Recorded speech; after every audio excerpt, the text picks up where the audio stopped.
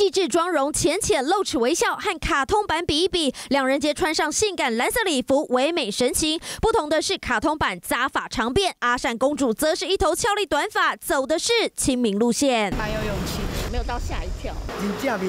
显然，老中青三种年龄层对阿善公主看法很不一样。张丽善为宣传日环食聊了 key，欢迎大家来云林观赏百年难得一见的天文奇观。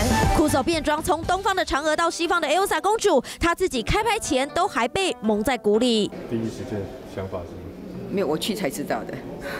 要能够达到哦，让大家知道云林县，提升云林县的知名度，让大家认识云林，这样的目标就可以了。